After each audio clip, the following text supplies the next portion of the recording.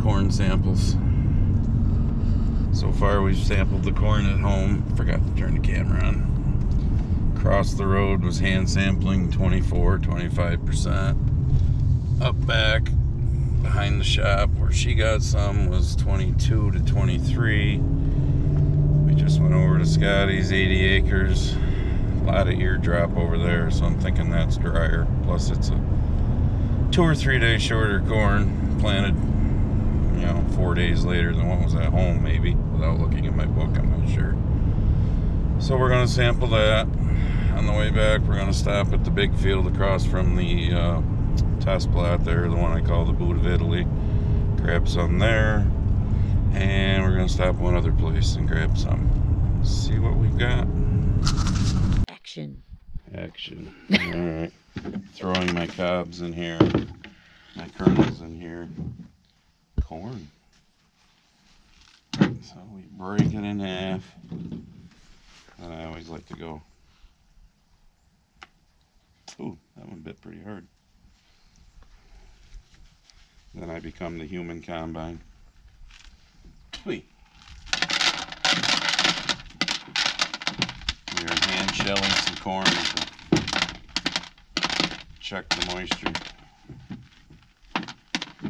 We checked across the road, that was 24, 25. We Checked up back, that was 22, 23. This is the stuff from Scotty's.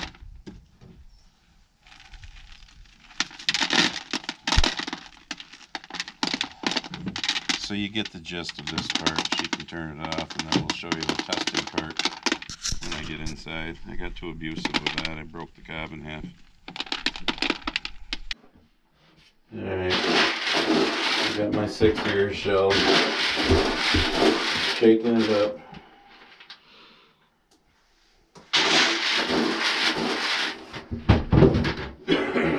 Testing time.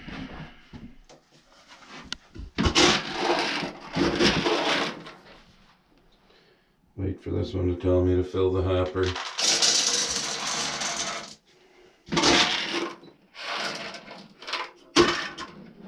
It.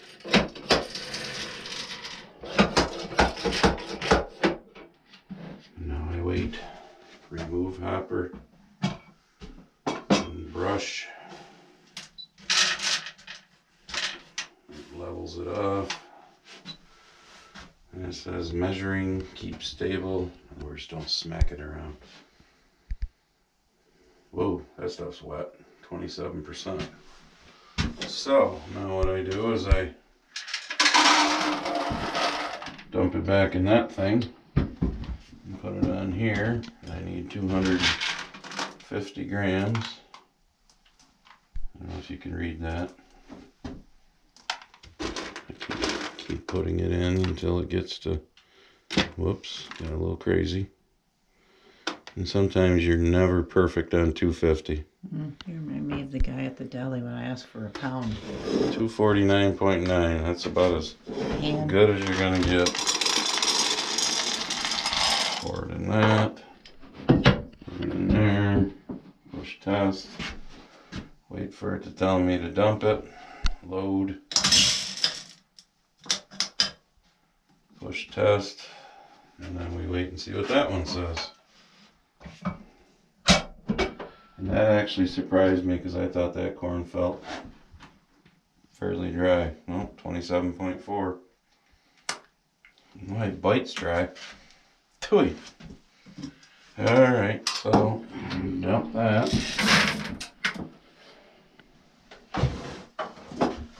Do another one here.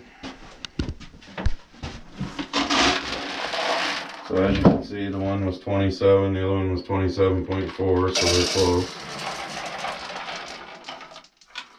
It's hard to find testers that are perfect with each other.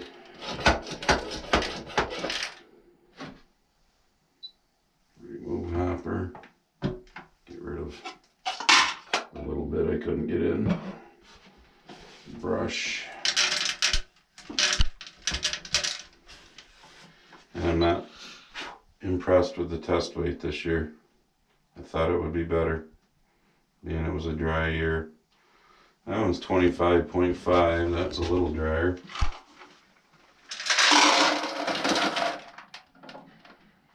Let's see what this one says now.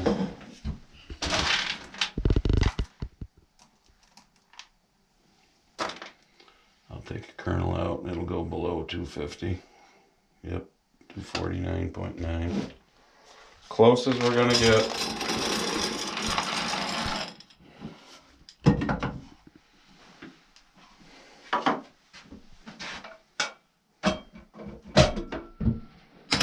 Load, push test, and wait for this one to tell us.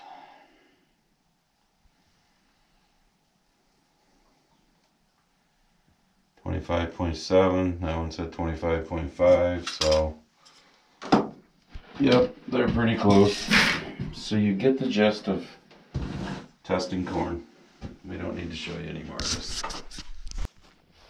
All right, last few things of being ready. I just greased that PTO shaft on the wet bin auger. Whee. Greasing the dryer now.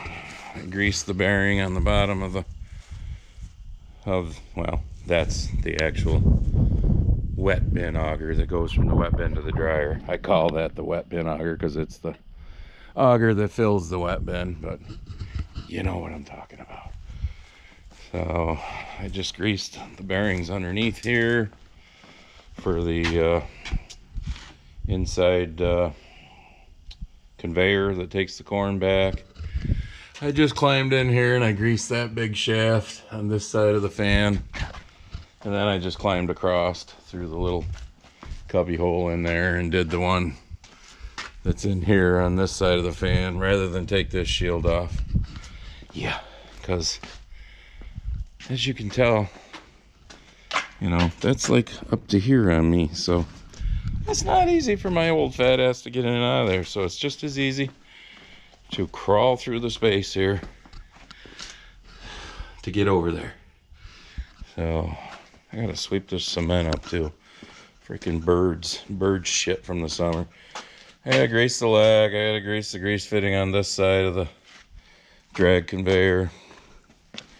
The one on this side of the drag conveyor. Damn birds and bird shit. That's the drag conveyor. This doesn't have uh, metering rolls and an auger in the bottom. It's got the drag conveyor system. So, and then I gotta go in the bins and do the grease fittings in there under the floor. That sucks. I hate that job. Oh yeah, and I have to go up there and get the top auger on both ends and get the pulley on top of the wet bin auger up there.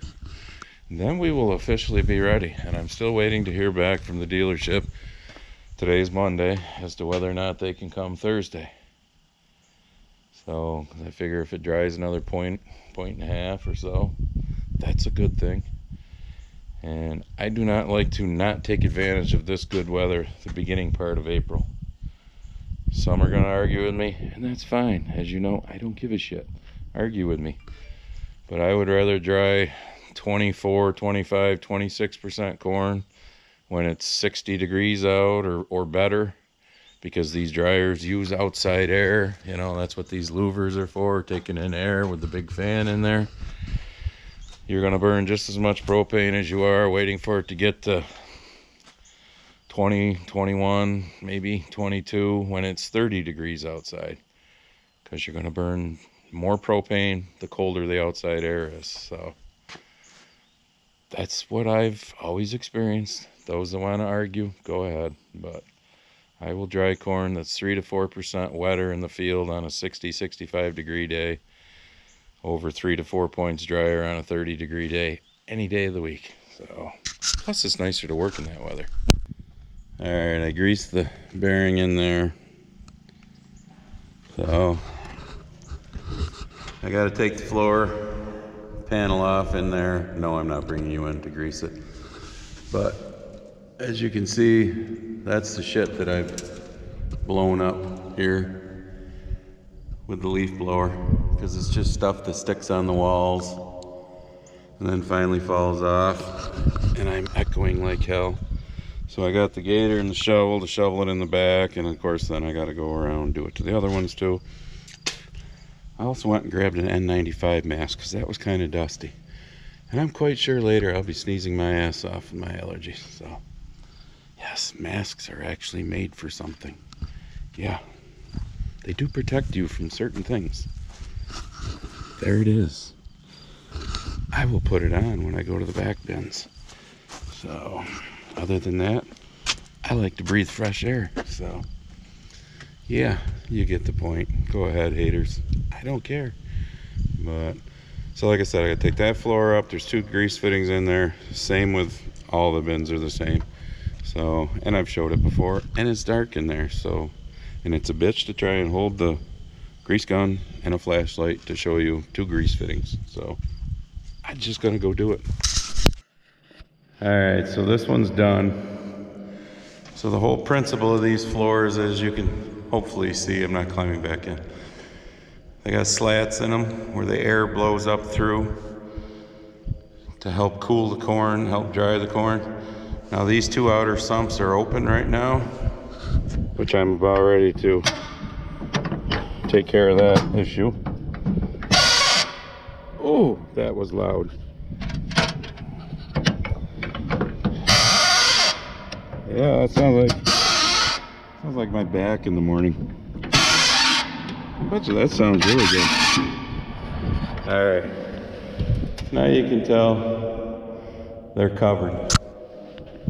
So now I take this little bolt out right here. I'm undoing the nut on the other side. Well, I gotta, wiggle it a little to get the bolt out there. So now when I go to, hang on, I'm trying to get the nut on the bolt. Shouldn't do this when I'm talking to you. I'm not gonna. So now when I open this up, the only thing that's gonna open up, see I'm doing the same thing, I'm opening back up where it was closed. Those are staying shut and the only one that's opening is the center one. You feed your bin down until it gets to where it doesn't run anymore. Then you have to open these two up, let it feed down so this sweep arm gets uncovered.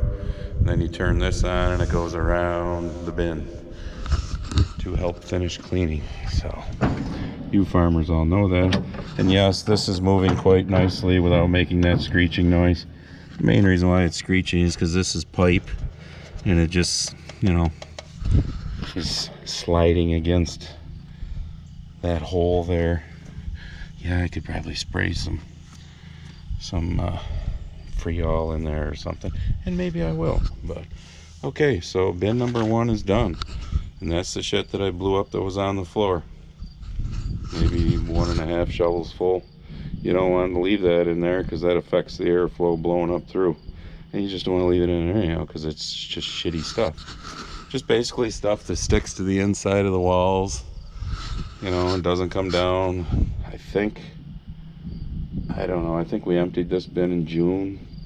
So basically the summer heat and whatnot made it, you know, finally fall off the walls. But yeah, I'm going to go do the other two bins and you don't need to see it because it's the same as what this one was. All right, charging that battery. It's like, I had to take my sweatshirt off. It's like borderline, I'm chilly a little bit because I'm sweating, but it was like warm out here with the sweatshirt on. I don't know, it's that time of year. Got my, are you getting it yet t-shirt on. Yep, hopefully more people do. But, so now, officially, we are ready. Other than them coming out and getting the combine set up. So dryer, bins, wet bin, everything officially ready. I gotta grab that other grease gun. So just so you all can kind of get an idea of the setup here, I will, you know, explain things as we go, as we as we uh, start harvest, hopefully in about three days. Making sure I shut everything off in there as far as the testers go. So, oh yeah, oh I do have one more thing to do. Gotta go get the shovel. Yeah, coons. Gotta love coons. Rotten bastards. That was the coon shit that I kicked off the top of the dryer. Yeah, they're a fun animal. Mm-hmm. All right, so hopefully the next one after this one will actually be the new New Holland in the fields working. So we'll see.